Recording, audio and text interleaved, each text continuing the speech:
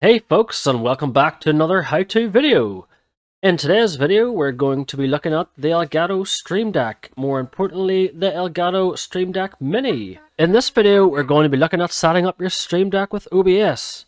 Just how to launch OBS using your Stream Deck, how to set up recording, how to switch between scenes, and how to go live. Quick and easy setup for beginners, so let's get stuck straight into it and here's a little bit about Elgato.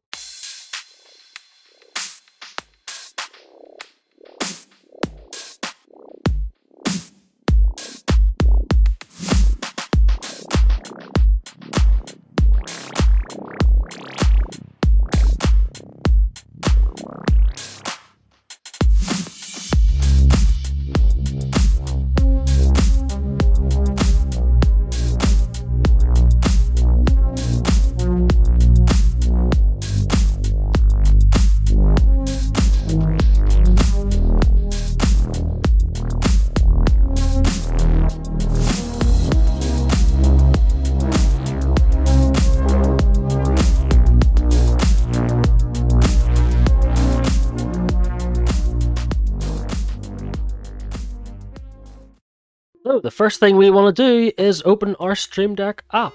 Obviously, you'll have already downloaded the app because it's the first thing you do when you plug it in. And the first button we're going to program is going to be OBS Studio Startup. So just for training purposes, I am going to select a new profile and we will start from the beginning. Now that we have our new profile selected, First thing we're going to do is OBS Startup, which is basically so straightforward. I was so surprised when I was, when I first tried it. It was like so easy. So what you want to do, is you want to minimize your Stream Deck screen and simply grab the shortcut from your desktop or in your files and drag it and drop it into the window. Simple as that. And it's, you know, drag and drop play. Once you have that dragged into the little slot, the little window, you can see the title. You can change the title now. I have it set up as OBS Studio. And you can see the file location there. You can name it whatever you want. And then you can change the text here and the, the font type and the size and even the color.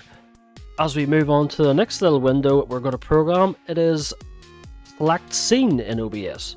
Now you will already have your scene set up in OBS. If you do not, uh, I suggest you do that first as it will make life a lot easier and maybe name them so that you'll remember them. If you don't know how to do that, check out a video of mine that I did about OBS setup. It will be linked in the video at the end.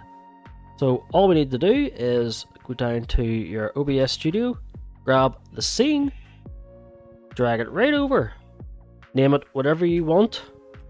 I'll just say scene collection untitled, just leave it the way it is, and then it'll bring up your scenes in OBS, and you just need to select whatever one you want this button to launch. I have many selected there. Live stream, which means now when I select that button on my stream deck, it will launch the scene in OBS. Very simple folks, drag and drop.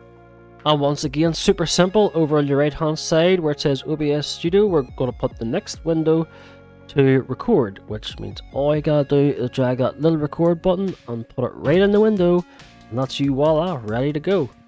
And then obviously, depending on how many scenes you actually have on OBS, you can select multiple scenes. Like for example, I would have uh, like an intro to my stream, say when you start your live stream and you're not quite ready, have like a little intro when an OBS plays a video. So you can have that and you can select that. So say intro. And then live stream beginning. And then that button will be programmed then for when it launches. It will launch a little intro screen on my OBS and then really the last thing you need to know to set up your stream deck for OBS is your go live button. So just over on the right hand side where it says OBS Studio go straight down to where it says stream drag it over and select it into the window which means when you select that button you will go live provided you have your broadcast set up on OBS, of course. So folks, that's pretty much it. Uh, it's pretty straightforward, drag and drop. Uh, everything's sort of streamlined. It's really user friendly and it works absolutely amazing. I'm so pumped with it. Uh, we'll just start off with the with the basic stuff, obviously, there is it can go in a lot more in depth, but we have our OBS launcher set up. We can select uh, scenes in OBS. We have a button to record and we have a button to go live. And you can also program to do other things, but we'll not get into that right now. And the next video we will go through that there. Also, you can add awesome thumbnails and wallpapers to your Stream Deck, but that will be for another day. Anyway, folks, thanks for watching. Take it easy, and I'll see you all in the next one.